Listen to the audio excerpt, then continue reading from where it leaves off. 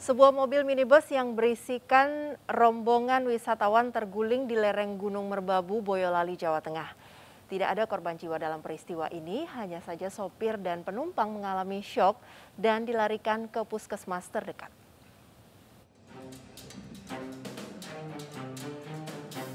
Inilah video amatir milik salah satu warga saat mobil minibus yang berisikan wisatawan yang mengalami kecelakaan tunggal di lereng Gunung Merbabu, Desa Tarubatang Selo, Boyolali, Jawa Tengah.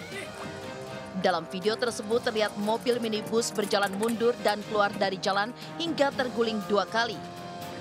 Diduga pengemudi tidak mengenal medan karena jalan tersebut menanjak hingga 45 derajat dan memang jarang dilalui oleh kendaraan roda 4.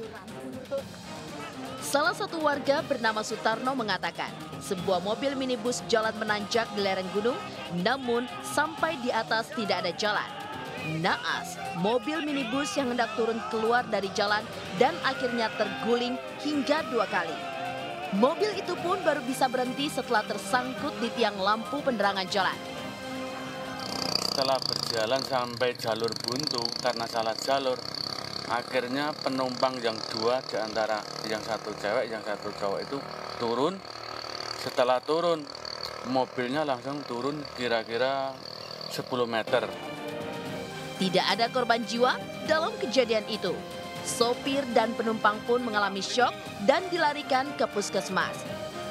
Dari Boyolali Jawa Tengah Tata Ramanta iNews melaporkan